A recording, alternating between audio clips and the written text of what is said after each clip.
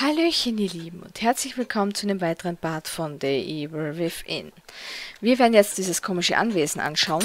Wir haben nämlich gerade Doc und Ashley, äh, Leslie, so, nicht Ashley, ich will immer Ashley sagen, ich weiß nicht warum. Also Doc und Leslie haben wir dort äh, bei einer komischen Tür verschwinden sehen, nämlich der da. Ich nehme mal stark an, wir sollen dem folgen. Und wie es so ausschaut, braucht man hierfür drei Mechanismen, die man betätigen muss. Fangen wir halt einmal hier an. Ähm oh, was haben wir da? Nein, nicht schlagen. Ich will das aufheben. Was ist da? Notiz aus Esszimmer im Anwesen. Endlich habe ich einen Weg gefunden, die Pforte in eine neue Welt. Es ist alles hier direkt vor meiner Nase. Ich bin entsetzt und wütend, dass ich es nicht früher erkannt habe, dieser Vorgang, um die Psyche eines Menschen zu brechen, auszulöschen und mir selbst freie Hand zu geben, ist so offensichtlich. Und jetzt, wo ich das erkenne und alles, was ich brauche, direkt vor mir liegt, habe ich das Gefühl, es gäbe nichts mehr, das ich tun könnte. Ich habe alles, was ich wollte, alles, was ich verloren hatte, aber ich brauche Ressourcen äh, Chimens. Oh Gott, wie sagt man das? Chimens. Wahrscheinlich so, ne? Chimens. Hm. Dieser Schwachkopf wird endlich sein, Punkte, Punkte. Ich kann wie immer nicht scrollen. Also, selber lesen. Ja, indem ihr das Spiel spielt. Ja.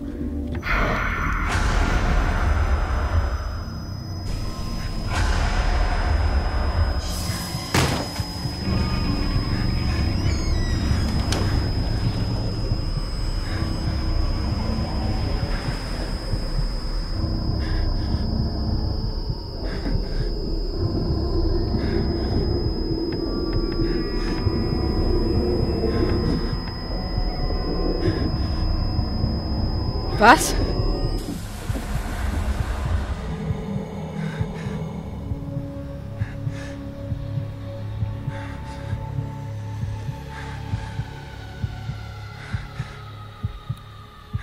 Was war das?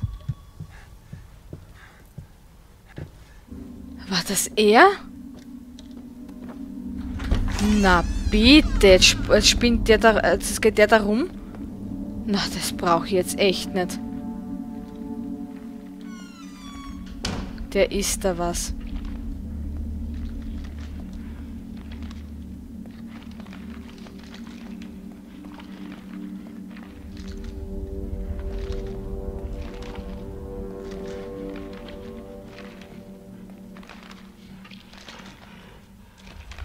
Ist das ein oder sind es mehrere? Es sind tatsächlich zwei. Okay, ich habe eine Idee. Da drin ist eine Bombe. Die werden wir uns jetzt zunutze machen.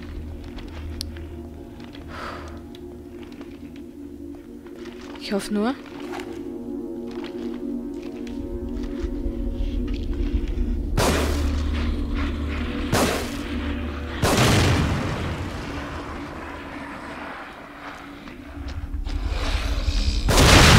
Jawohl, das wollte ich eigentlich erreichen.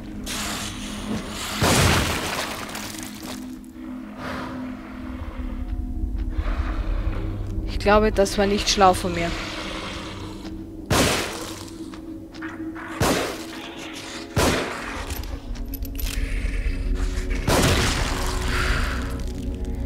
Alter Scheiße. Ich glaube, das war nicht schlau von mir. Ich glaube, das war nicht schlau von mir.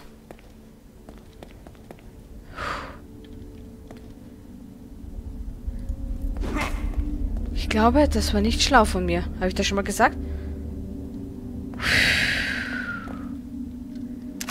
Ich glaube, das war nicht schlau von mir. Alter, mir geht die Pumpen. Okay, wir haben sieben Schuss drin. Gut.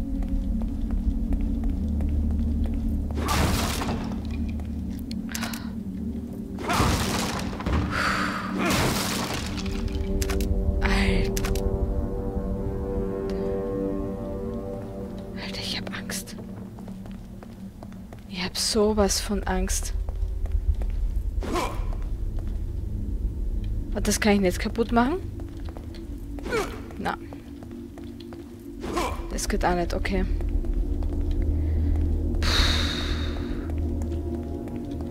Den Kerl zu besiegen.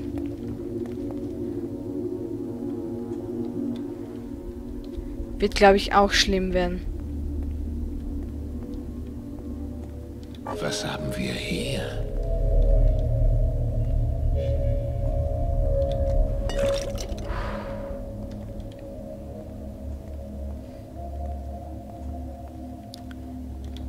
Okay, ich glaube, bevor ich das aktiviere...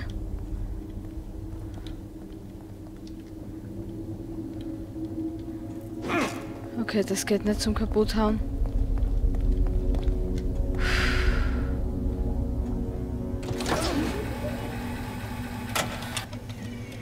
Proband Nummer 58, Test 92a. Elektrodenplatzierung an M33 der Schmerzregion. Wirkungslos. Erwarte bessere Ergebnisse mit Stimulation von Sektion F7 der Neokortex-Region für Einwilligung.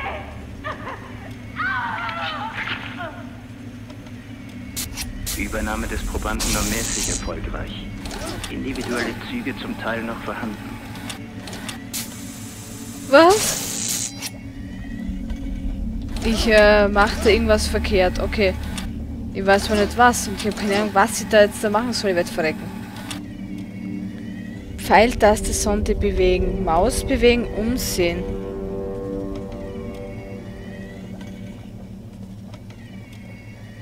Alter, wie scheißlich. Ah, hier ist da, glaube ich, ein Hinweis, ne?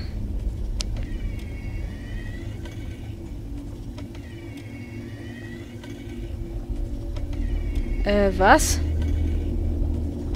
Gehirnhälfte scheint aus, scheint zu sein, ne? Also, hier waren wir doch schon, oder? Da ist ein Nagel. Bei dem Nagel, oder was? T2.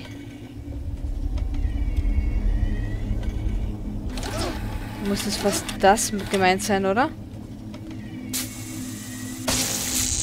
Nein. Ah, da es geht's weiter. Pain. Leid. Ähm. Ich werde verrecken.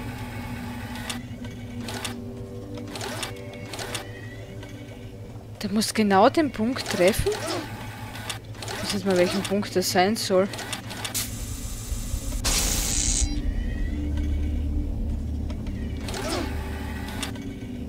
Es nicht einmal...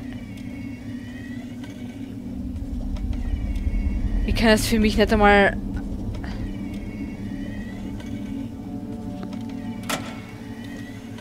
Proband Nummer 58, Test 92a. Elektrodenplatzierung an M33 der Schmerzregion. Wirkungslos. Erwarte bessere Ergebnisse mit Stimulation von Sektion F7 der Neokortex-Region für Einwilligung.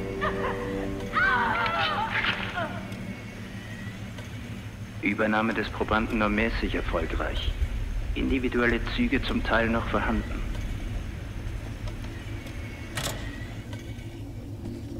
Ähm, soll jetzt bedeuten, dass äh, die beiden auf der auf dieser Seite, dass das sowieso generell falsch war.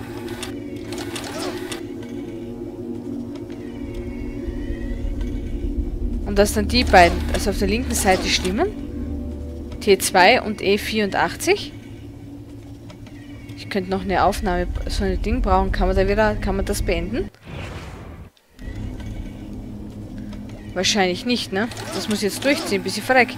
Ich habe nur mehr einen versucht, dann bin ich gestorben. Also hier, äh, gesagt, ne?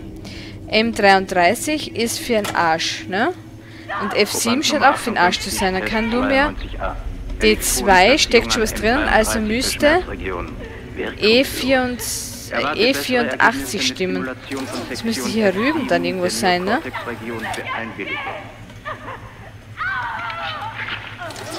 Das ist der eine Teil. Übernahme des Probanden Das grüne, da hat er jetzt noch ganz unten. Da ist Individuelle Züge zum Teil noch vorhanden. Aha, die, das, das, ähm, dieses hellblaue scheint zum Hirn? Dann gibt es so ein kleiner Teil hier. Das müsste aber schon der rote Bereich sein. Das heißt, hier irgendwo müsste das grüne sein und da drüben irgendwo das gelbe, oder?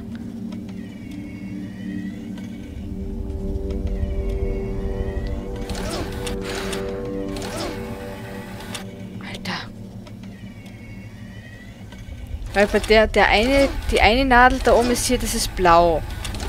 Das ist ein blaues Gebiet. Hier unten ist auch ein blaues. Und der Stickel oberhalb hier irgendwo müsste dann sein, ne? Ach so, beim grünen Gebiet steckt eine Nadel drin. Ach so, dann ist dazwischen drin eine Möglichkeit. Hier ungefähr. Wahrscheinlich eher da so. Ich probiere es einmal. War falsch, ja. Dachte ich mir schon. Ah, ich komme schon langsam dahinter, okay. Müssen wir das nur punktgenau treffen, scheinbar. Mo, ist das scheißlich. Hm.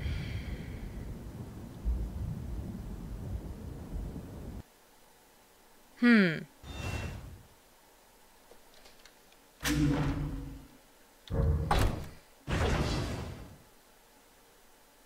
Hä? Ich habe was gespeichert? Warum? Keine Ahnung. Ähm.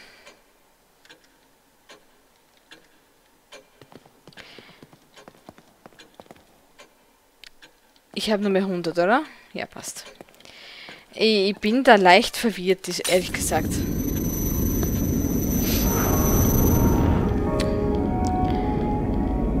Oder verwirrt ist falsch gesagt. Ich glaube, ähm, ja. Ja, keine Ahnung. Wollte ich noch mitnehmen. Genau, das haben wir eh gelesen gehabt. Jetzt müssen wir uns verstecken, ne?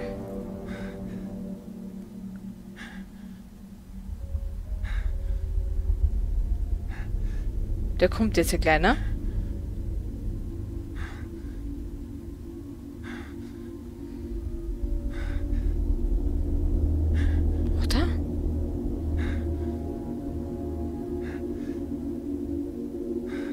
Lustig, die Scheibe hier ist zerbrochen, ne? Die blieb zerbrochen.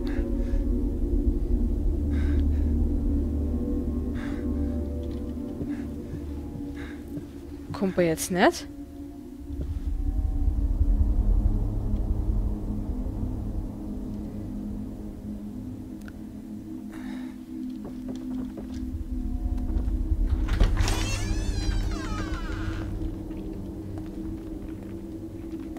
Die futtern da noch.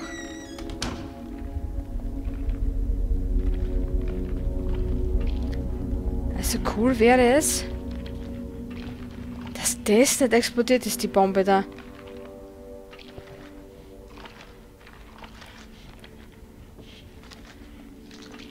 Ähm... Eine Granate möchte ich da ehrlich gesagt nicht opfern. Glaube, da bin ich mit dem Revolver noch am besten.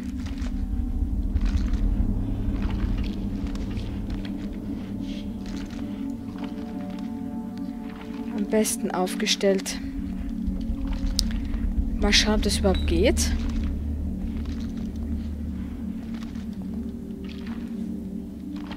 Ob ich sie da durchwerfen kann.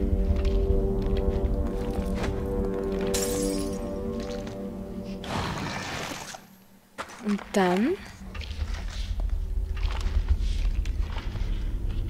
Okay, das interessiert den nicht.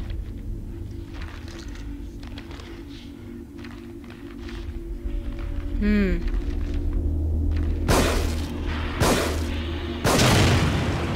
Okay, das war auch für die Fisch.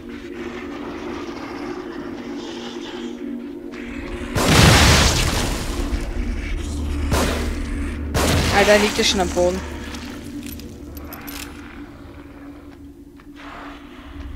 Hm.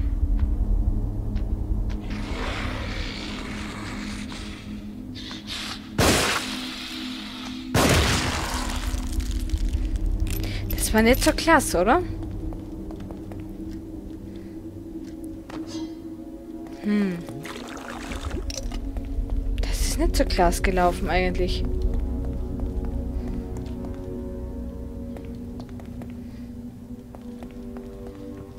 Hm. Ein Haufen Munition eigentlich verschwendet für nichts.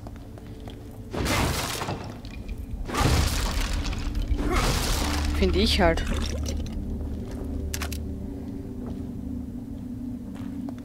Hm.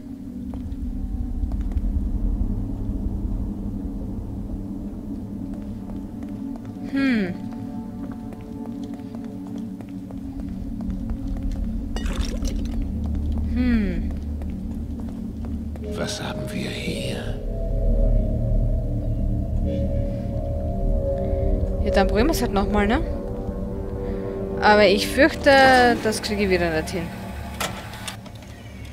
Proband Nummer 58, Test 92a. Elektrodenplatzierung an M33 der Schmerzregion. Wirkungslos.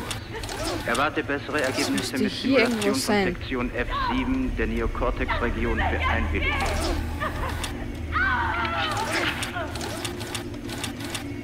Übernahme des Probanden war mäßig erfolgreich. Individuelle Züge zum Teil noch vorhanden.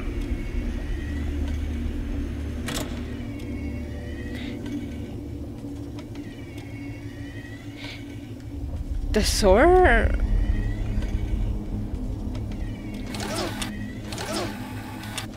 Also wenn ich nach oben und nach unten fahre, das Gerät ist mir, ziemlich- ist, mir ein bisschen suspekt. Ähm, so müsste das doch hier irgendwo sein dann. Das Grün, es steckt genau im Grün drinnen. Müsste es doch in der Mitte sein, also hier irgendwo.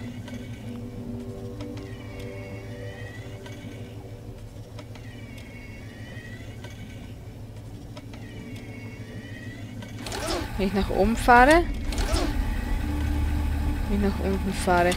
Es verschiebt sich da auch immer ein bisschen. Wenn ich genau hier bin, nach oben fahre, verschiebt sich das immer ein bisschen. Na, jetzt geht auf einmal. Naja. Okay, ähm...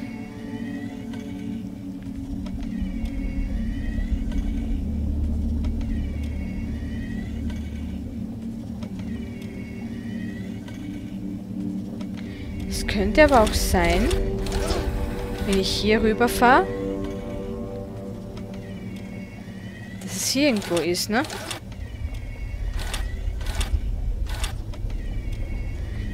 Echt schwer. Vor allem schaut die Skizze aus wie eine Landkarte eigentlich. Irgendwie.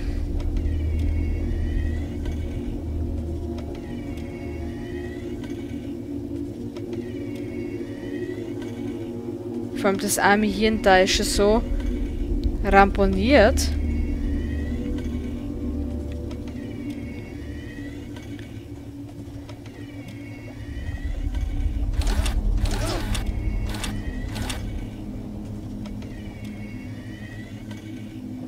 Meh.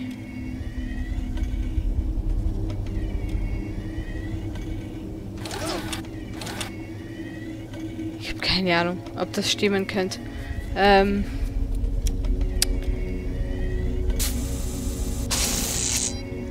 Nö.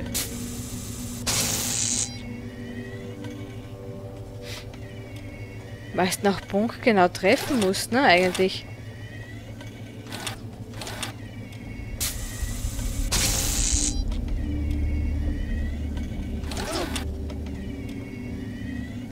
Keine Ahnung, warum kriege ich eigentlich Schaden, wenn ich, wenn ich das hier probiere? Es ist echt merkwürdig. Das muss ich schon sagen.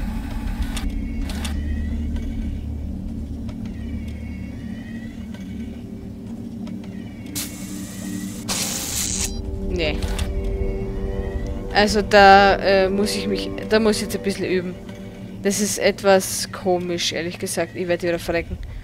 Ähm. Vor allem, ich habe überhaupt keinen Schimmer.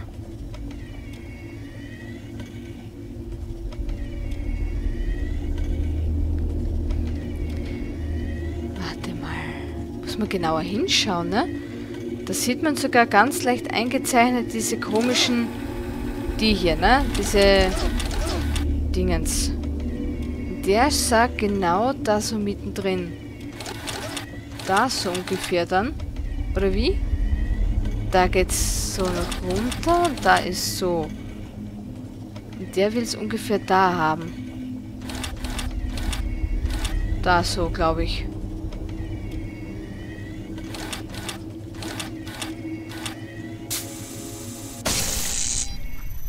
Vibe! Hm. Vielleicht noch ein Stückchen weiter nach links. Ich muss das jetzt ein bisschen üben. Ich muss es ein bisschen üben und dann, wenn ich das hinbekommen habe, dann, ähm, dann hören wir uns wieder. Würde ich sagen. Das ist ja wieder mal ein sehr gelungener Part gewesen. Eigentlich gar nicht. Ähm, wir kriegen das schon hin, keine Sorge. Na gut, ihr Lieben, ich äh, bedanke mich wieder fürs Zuhören, fürs Zuschauen, wünsche euch einen schönen Tag, einen schönen Abend, je nachdem, wann ihr dieses Elend hier seht und wir hören uns beim nächsten Mal. Tschüssi!